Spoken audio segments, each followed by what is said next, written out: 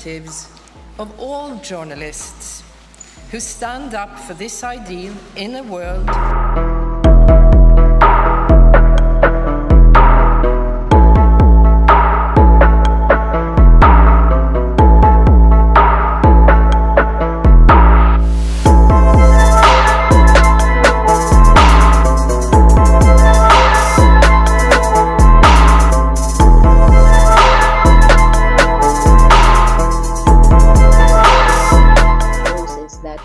Um, that the Nobel Peace Prize Committee realized that a world without facts means a world without truth and trust.